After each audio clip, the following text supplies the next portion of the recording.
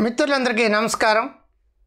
చాలామంది ఎక్కువగానే మాట ఒకటే బోరు కొడుతుంది బోర్డమ్ ఈ బోర్ అనే మాట చాలామందికి నోటంతో ఎక్కువ వస్తుండే జీవితంలో విసుగుపోయాను. అబ్బా fed up with my all problems helplessness అబ్బా చిరాగ్గా ఉంది బాబు. గతంలో బాగా ఇష్టమైన కోరదంటే తింటే ఇప్పుడు ఇష్టంగా అనిపించదు. గతంలో బాగా ఇష్టమైన టీవీ ప్రోగ్రాం చూస్తే ఇప్పుడు ఇష్టంగా అనిపించదు. అంటే ఏదైతే బాగా ఆస్వాదించగలిగావో గతంలో దాన్ని ఇప్పుడు ఆస్వాదించలేవు. గతంలో చాలా చురుగ్గా చేసిన పనులు ఏవైతున్నాయో ఇప్పుడు చురుకుదనం తగ్గిపోతుంది. అంత దిగులుగా అయిపోయినట్టు పెద్ద డిప్రెషన్ వచ్చినట్టు బోర్ కొడుతుంది బోర్ కొడుతుంది బోర్ కొడుతుంది. చాలామంది ఈ బోర్కి గురైన వాళ్ళు ఎమోషనల్ ఈటింగ్ అని చెప్పేసి ఏదో రస రస రస గుల్లాను ఏది పెడితే అది స్విగ్గీలోని జొ జొమాటోలోని లేదుకుంటే బయట తినేయడం కానీ ఆర్డర్ పెట్టడం కానీ చేస్తుంటారు. వారి ఇంట్లో కూడా ఫ్రిడ్జ్ ఓపెన్ చేస్తారు ఎదురు తింటారు. బోరు కొట్టిన వాళ్ళందరూ కూడా ఒబేసిటీ రావడం కారణం అది ఎమోషనల్ ఈటింగ్ అంటారు. నెంబర్ టూ చాలామంది బోరు కొట్టినప్పుడల్లా ఆల్కహాల్ తీసుకుంటుంటారు. బోర్ కొట్టినప్పుడల్లా స్మోక్ చేస్తుంటారు. బోర్ కొట్టినప్పుడు ప్యాకెట్ ఆడుతుంటారు. ఆర్ బెట్టింగ్స్ ఆన్లైన్లో కూర్చుంటారు. కొంతమంది బోర్ కొట్టినప్పుడల్లా ఇంటర్నెట్ ఇంటర్నెట్లో కూర్చుంటే వంటర్నెట్ వంటర్నెట్లో కూర్చుంటే తొంటర్నెట్ ఫోర్నోగ్రఫీ చూసేస్తారు. ఈ బోర్ అనేది దానికి కారణం ఏంటంటే చాలా కాలంగా చేసి చేసి చేసి చేసి ఒక యాంత్రికమైన లైఫ్కి అలవాటు పడిపోయినప్పుడు మనకు తెలియకుండా బోర్ అనేది వస్తుంది.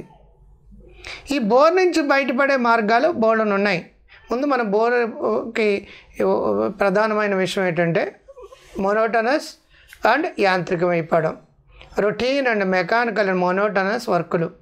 సరైన ఇంట్రెస్ట్ కలిగే టాస్క్ లేకపోతే బోర్ కొడుతుంది.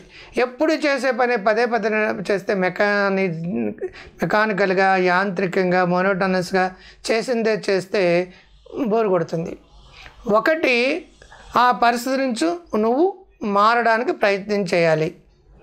ఆ పరిస్థితిని నువ్వు మార్చలేనప్పుడు నువ్వు ఆ పరిస్థితికి అనుగుణంగా మారిపోవాలి అది సైకాలజీ చెప్పేది.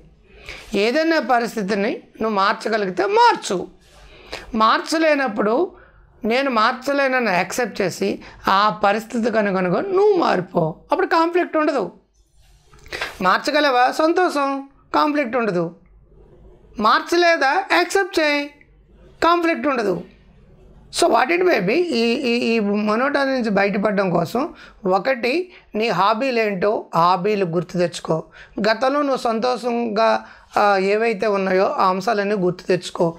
గతంలో నువ్వు ఏవి చేస్తే అందరూ నిన్ను ప్రశంసించారో ఆ వ్యక్తులు ఆ పరిస్థితులు ఆ గొప్ప గొప్ప అనుభూతులు గుర్తు తెచ్చుకో.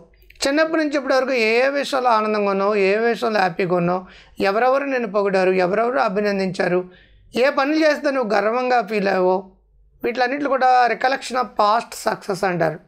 ఇవన్నీ రికలెక్ట్ చేసుకుని ఇప్పుడు ఏం చేస్తే బాగుంటుందో అది ఒక హాబీ డెవలప్ చేసుకోవడం కావచ్చు కొంచెం మ్యూజిక్ వినడం కావచ్చు ఒక అడ్వెంచర్ తీసుకోవడం కావచ్చు ఒక వెంచర్ టేకప్ చేయడం కావచ్చు చిన్న బ్రేక్ తీసుకోవడం కావచ్చు. ఇవన్నీ చేయడం వల్ల ఏంటంటే అగైన్ బోర్ నుంచి పడబడతారు ఒక మూడు నాలుగు రోజుల తర్వాత బోర్ అనేది పోతుంది. అలా కాకుండా అది అలాగే కంటిన్యూ అయిపోయింది అనుకోండి డిప్రెషన్లోకి వెళ్ళిపోతాం మనం. ఏమైనా సరే యోగా కానీ మెడిటేషన్ కానీ డ్యాన్స్ కానీ మ్యూజిక్ కానీ మొక్కలకి నీళ్ళు వేయడం కానీ కుక్కలు వాకింగ్ తీసుకోవడం నేచర్ వాక్ అంట ప్రకృతిని ఆరాధిస్తూ వాక్ చేయడం కానీ అలాగే గతంలో చాలా కాలంగా మర్చిపోయిన ఫ్రెండ్స్ని తలుచుకుని వాళ్ళకి కాల్ చేయడం కానీ మెయిల్ పెట్టడం కానీ మీ బంధుమిత్రులు పని లేక పని ఎక్కువైపోయి ఖాళీ లేక ఖాళీ లేక దూరంగా ఉన్న వాళ్ళందరినీ కూడా ఒక ఒక లుక్ వేయడం కానీ వాళ్ళని పలకరించడం కానీ చేస్తే తిరిగి ఆ, అవుతుంది. ఎప్పుడు కూడా బ్యాటరీ డిశ్చార్జ్ అవుతుంది. దానికి ఛార్జ్ చేస్తాం ఎక్సైడ్ బ్యాటరీ డిశ్చార్జ్. మీ సెల్ ఫోన్ డిశ్చార్జ్ అవుతుంది. తిరిగి ఛార్జ్ చేద్దాం. ఛార్జ్ లేకపోతే ఏ సెల్ ఫోన్ పనిచేయదు. మీరు కూడా అప్పుడప్పుడు డిశ్చార్జ్ అవుతుంటారు. ఈ బోర్ అనే పదంతో డిశ్చార్జ్ అవుతుంటారు. మీకు మీరు రీఛార్జ్ చేసుకునే క్రియల్లో నేను చెప్పిన పద్ధతులన్నీ పాటిస్తే అగైన్ రీఛార్జ్ అవుతారు. మంచి ఊపుతో ముందుకెళ్తారు. అప్పుడప్పుడు వెంచర్సు అప్పుడప్పుడు అడ్వెంచర్స్ రెగ్యులర్గా వెంచర్స్. చిన్న చిన్న రిస్క్ తీసుకునేవి చిన్న చిన్న టాస్క్లు పెంచుకుంటూ ఎప్పుడు చేయని పనులు చూడు ఎప్పుడు మొనటనస్గా ఫీల్ అయ్యే దాని నుంచి కొంచెం బ్రేక్ ఇచ్చుకోవడం. ఎవరితో మాట్లాడితే హ్యాపీగా ఉంటుంది. ఒంటరిగా మాత్రం ఉండదు. ఒంటరిగా ఉన్నారా? కొంతమంది ఆల్కహాల్ పెరుగుతుంది కొంతమంది స్మోకింగ్ పెరుగుతుంది కొంతమంది ఫుడ్ తినేస్తుంటారు ఇంటర్నెట్ కూర్చుని ఎడిక్ట్ అయిపోతుంటారు. అవన్నీ వదిలేసి శుభ్రంగా విండో షాపింగ్కి వెళ్ళచ్చు. జేబులో డబ్బులతో వెళ్ళకండి. ఉన్న డబ్బులే కాదు ఎక్స్ట్రా క్రెడిట్ కార్డు డెబిట్ కార్డులు కూడా అయిపోతాయి. విండో షాపింగ్ చాలామంది అనుకుంటారు వస్తువు కొనడానికి వెళ్తేనే అక్కడికి వెళ్ళాలని మన దగ్గర డబ్బులు లేనప్పుడు లేదంటే మనకు అవసరం లేనప్పుడు ఎందుకు షాపింగ్ అంటారు? కాదండి. విండో షాపింగ్కి వెళ్ళడం వల్ల కూడా బోర్ తగ్గుతుంది అన్నీ ఎలాగ డెకరేట్ చేశారు? ఎక్కడెక్కడ ఏం పెట్టారు? కొత్త వస్తువులు ఏం వచ్చినాయి? కొత్త టెక్నాలజీ ఏం వచ్చింది? అప్డేట్ చేసుకుంటాం నువ్వు వెళ్ళినందుకు కొనాలని రూల్ ఏం లేదు. అన్ని షాపులు తిరిగి వచ్చేయచ్చు.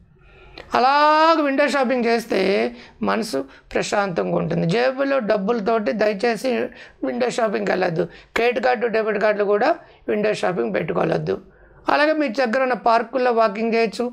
లేదనుకుంటే ఎక్కడికైనా కొంచెం రిలాక్స్గా ఉండే ప్లేస్కి వెళ్ళచ్చు. ఎవరైనా చిన్నపిల్లలు ఆడుకునే ప్లేస్కి వెళితే అది చూడొచ్చు. చాలా ఉన్నాయి. కొత్త గోల్ పెట్టుకోండి. కొత్త హాబీని డెవలప్ చేసుకోండి. చిన్నప్పటి నుంచి మీకున్న ఇంట్రెస్ట్లు ఏవైతే ఉన్నాయో ఏదో ఒక ఇంట్రెస్ట్ మొదలు పెట్టండి. చిన్నప్పుడు బాగా మ్యూజిక్ వాయించి ఆపేశారు. జస్ట్ మ్యూజిక్ని రెండు స్ట్రింగులు ఎలా అన్నా సరే మీకు రీస్టార్ట్ అవుతుంది. వాట్ ఇట్ మేబీ పేపర్ మీద పెట్టుకోండి. మీకు ఏది చేస్తే బోర్ కొడుతుంది ఏది చేస్తే ఆనందంగా ఉంటుంది. ఆనందంగా ఉండి చేయడం మొదలు పెట్టండి. రెండు మూడు రోజులు బోరిపోతుంది మళ్ళీ అగైన్ మీ యాక్టివిటీ ఉంటుంది మీ ఉద్యోగాలు మీ వ్యాపారం మీ పిల్లల పెంపకం మీ వంటలు అన్నీ యథాతథంగా చేసేయగలుగుతారు. ముందులే మంచి రోజు ముందు ముందుగా. బోర్ నుంచి ఆ బోర్ ఉన్న వాళ్ళందరూ బీరు ఎక్కువ తగ్గడం కారణం అదే. ఎక్కువ విస్కీ బ్రాంతీలు అయితే ఇంత ఉంటుందండి. బోరు బీర్ అయితే బాటిల్ ఉంటుంది. ఆ బోర్ కొట్టిన వాళ్ళు కొంచెం కొంచెం కొంచెం తాగితే బాటిల్ అంతా నింపేటప్పటికి ఆ ఎక్కువ తాగిన ఫీలింగ్ వస్తుంది. అంచేత ఏంటంటే ఎక్కువ మంది కబీర్ దాసులు అందరూ కూడా కబీర్ దాసులు అందరూ కూడా బోర్ దాసులే. దీని నుంచి త్వరగా బయటపడండి. ఆ బోర్డమ్ నుంచి బయటపడితే డమ్ జమ్ డమ్ బోలో బమ్ బమ్ బోలో అవుతుంది. మంచి ఊపు వస్తుంది సక్సెస్ వస్తుంది. అందరికీ ఉన్నదే జీవితంలో విసుకుపోవడం నిరాశ నిస్పృహ. బా జీవితంలో విసిపోయి ఈ డైలాగులు అన్నీ వదిలేసి బాడీ లాంగ్వేజ్ మార్చండి. Change your thought change your language change your body posture దెబ్బకి సక్సెస్ అనేది మీ వెనకాల అచ్చుకొక్కలకు వస్తుంది. ముందులే మంచి రోజు ముందు ముందుగా మీ క్రాంతి గారు నమస్తే.